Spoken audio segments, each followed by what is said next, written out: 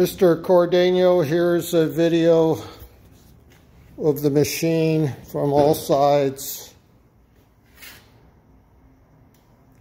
It's got an extra long cord on it here in the bag. It's uh, wired for three phase. Uh, 480 right now is what I'm running on it.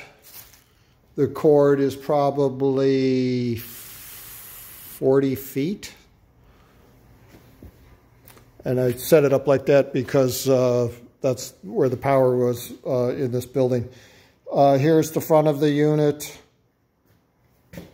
I've got all the components. I sent you a picture of the foot switch. All the switches are are working. Uh, when I bought the machine, I had an electrician go through it and make sure everything was not just functional, but uh, clearly functional. There's the inside of the machine. And uh, we got these things here. There's the tag on it. This, this, and I think that should be about it. It's a perfectly functional working unit.